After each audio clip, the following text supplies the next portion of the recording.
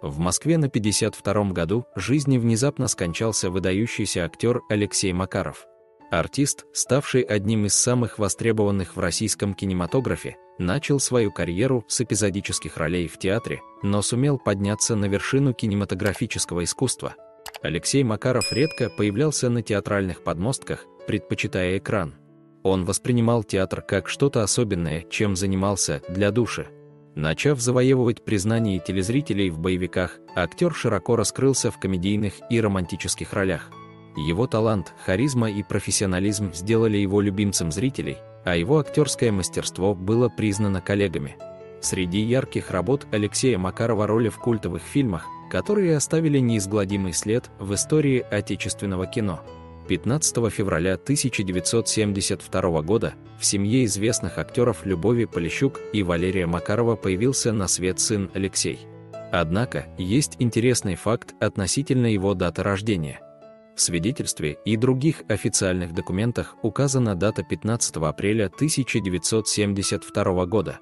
Сам артист утверждает, что это недоразумение и считает своим знаком зодиака Водолея.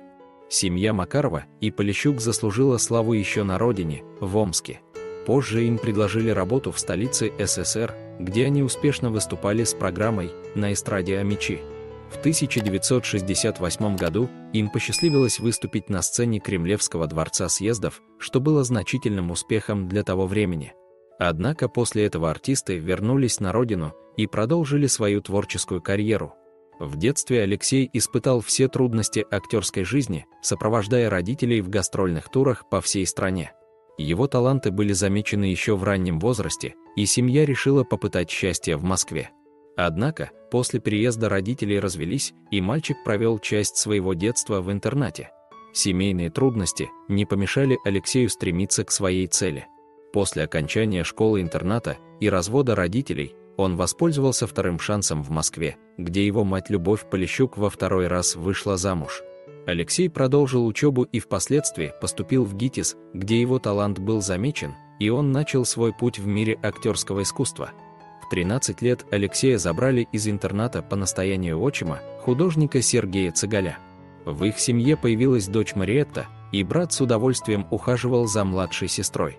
Любовь Полищук тем временем во второй раз вышла замуж и сменила фамилию на Цыгаль. В восьмом классе Алексей принял решение поступить в профессионально-техническое училище, намереваясь стать краснодеревщиком. Однако, отчим и мать настояли на том, чтобы он окончил полное среднее образование. После этого Алексей, несмотря на противоречия в семье, решил следовать своей мечте и поступил в ГИТИС. Несмотря на неудачи при первой попытке, вторая оказалась удачной, и он попал на курс Павла Хомского. Молодой Макаров также попробовал свои силы в театре имени Моссовета, где за 8 лет ему удалось сыграть всего одну значительную роль царя Ирода в спектакле «Иисус Христос Суперзвезда». Однако, после этого он решил покинуть театральные подмостки. Трудовая биография Алексея началась с продавца билетов, грузчика и даже пожарного – тем не менее, после окончания ГИТИСа, где он изучал актерское мастерство под руководством Павла Хомского, началась его настоящая кинематографическая карьера. Он стал одним из самых востребованных актеров российского кино, раскрывшись в различных жанрах, начиная от боевиков и заканчивая комедиями и романтическими фильмами. Алексей Макаров успешно вошел в мир кино, сделав свой первый шаг на экраны в эпизодической роли в мини-сериале «На углу» у патриарших. Однако настоящим прорывом для молодого актера стала драма 1999 года «Ворошиловский стрелок» режиссера Станислава Говорухина. Фильм не только завоевал популярность и внимание зрителей, но также стал культовым произведением, оставив свое название в истории российского кино. Однако, настоящий успех пришел к актеру после роли в боевике «Личный номер», основанном на реальных событиях захвата заложников на мюзикле «Нордост». Алексей Макаров воплотил образ героического майора спецслужб Смолина, и фильм, вышедший в 2004 году, принес ему широкую известность. Некоторые фанаты даже прозвали его российским Брюсом Уиллисом. Актер сам выполнял некоторые трюки и даже сломал ногу во время съемок. Далее в 2006 году Макаров снялся в еще одном успешном проекте – сериале «Офицеры», который возглавил топ-100 наиболее популярных ТВ-программ по версии TNS Gorp Media. Сериал был выдвинут на ТФИ в двух номинациях. В своей кинокарьере Алексей Макаров не ограничивался только боевиками. В 2006 году он снялся в семейной мелодраме «Требуется няня», пытаясь отойти от стереотипов жанра. Актер выразил желание рассказать зрителям человеческую историю, отходя от погони и выстрелов.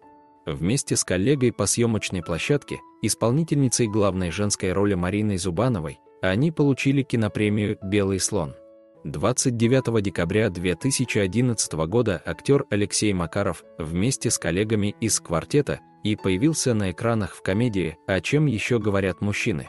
Фильм, в который также вошли Владимир Меньшов, Сергей Бурунов, Максим Виторган и другие звезды, стал самым кассовым российским проектом 2012 года с общими сборами в кинотеатрах в размере 17,7 миллиона долларов. Следующим совместным проектом «Квартета» и, и Алексея Макарова стал фильм «День выборов 2», выпущенный в начале 2016 года. Даже при бюджете в 1,6 миллиона долларов картина сумела привлечь внимание зрителей и заработала 3,5 миллиона долларов. В апреле 2018 года вышел проект «Частица Вселенной», в котором Алексей Макаров снова сотрудничал с «Квартетом». Телесериал, созданный Аленой Звонцовой и Валерием Тодоровским, включал в себя блестящий актерский состав и получил хорошие отзывы. В 2019 году Макаров снялся в военной драме «СМЕРШ», которая вошла в топ-10 самых популярных российских фильмов и сериалов согласно многим СМИ. В следующем году актер принял участие в сериале «Гости из прошлого», где вместе с Юрием Стояновым, Евгением Михеевым и Михаилом Трухиным представил зрителям увлекательный проект. В 2022 году Алексей Макаров снялся в мини-сериале «Тот мужчина», Та женщина вместе с Ольгой Красько, Алексеем Морозовым и Екатериной Вуличенко. Актер также предстал в третьем сезоне веб-сериала АКО «Естественный отбор», продолжая радовать зрителей своим многообразным талантом и профессионализмом.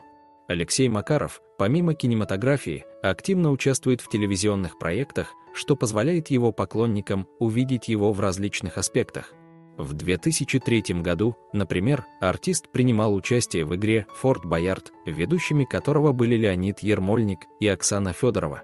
Вместе с Макаровым за главный приз сражались такие знаменитости, как Децл, Дмитрий Певцов и другие представители российского шоу-бизнеса. Актер также был виден в шоу «Ледниковый период», где он выступал в паре с певицей и бывшей фигуристкой Анной Семенович. Паре удалось дойти до финала, но, к сожалению, они не заняли призовых мест. В различных телевизионных передачах, таких как «Мой герой», «10 фотографий», «Однажды с Сергеем Майровым» и «Вечерний Ургант», Макаров делился с телезрителями своими сокровенными мыслями и воспоминаниями.